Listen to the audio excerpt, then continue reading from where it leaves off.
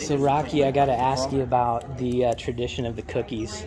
So it just started off. I think the first class that I ever came to, I just made cookies for the very last day, and everybody just loved them. And then the next year, someone said, "Well, so we have a tradition that Rocky brings cookies." I was like, "No, it was just that first year and just that one day, but it is now tradition." And so this even gets better. So you know how small the massage community is. Rocky, um, I was the massage director for Ironman Louisville for like 12 years.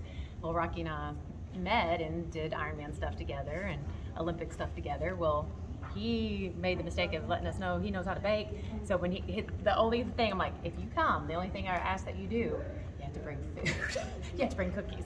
So everywhere he goes, he bakes and takes cookies. That's if awesome. He travels to Kentucky, he brings cookies. The story of the tradition. That's thanks kind of for what I'm known for. thanks for sharing, man. You're welcome. Appreciate it. Well, that's not all.